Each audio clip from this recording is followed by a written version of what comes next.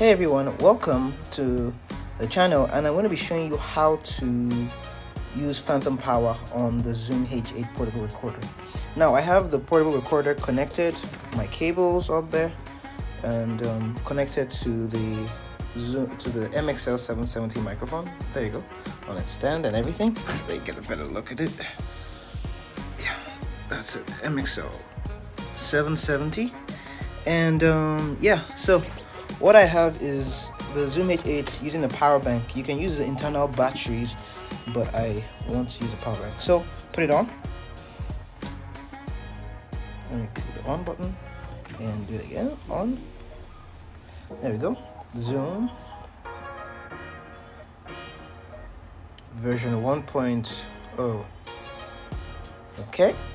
It's coming on. There it is. So let's try using all the settings. I want to start with the field recorder setting. So we go into the field recorder setting and we click the field recorder. And now we're in the field recorder so i'm going to click this button that says microphone. Right there. So you see it? It says microphone and i'm going to click it right now. So microphone. So let's see where we are. There's track one track two track three track four. There's a and there's b so what we want to use is A. So I'm going to put it on first of all. So it's on. So I go find it track um, A. And there it is, track A. And Phantom, there it is. I click on and it's already on. So if I put it off, it's off. I put it back on, it's on. So I come back and voila. So right now Phantom is on, but you notice something. The look at the dial. The dial is at zero. So I'm gonna increase that to let's say five. And voila! Tapping the microphone. And that's how you add phantom power. Let me talking to the microphone and that's how you add phantom power to this condenser microphone. Watch this. If i put off the phantom power you will see nothing happening zoom h8 phantom power off and I go back. Let's go back.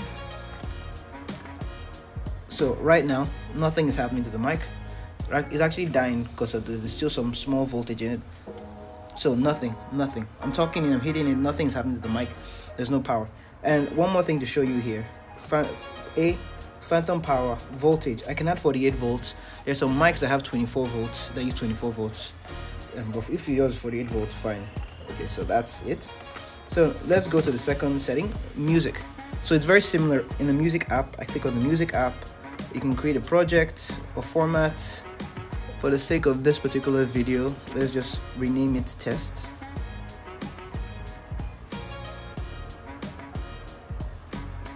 okay you see that test so now that i have renamed the test i'm to enter um, and now we're here.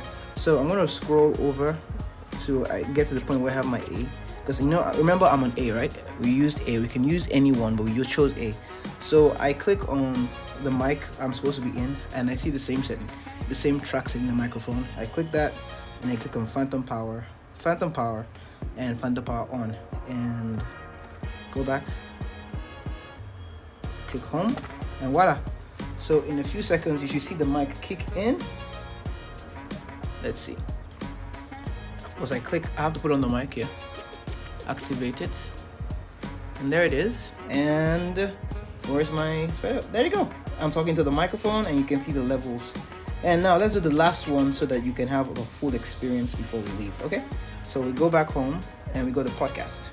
So we're in the podcast mode. You see all the different pads you respond to the pads and everything. So let's go microphones track A again phantom on and on. So yeah that is how you add phantom power to a microphone a condenser microphone using the zoom h8 okay take care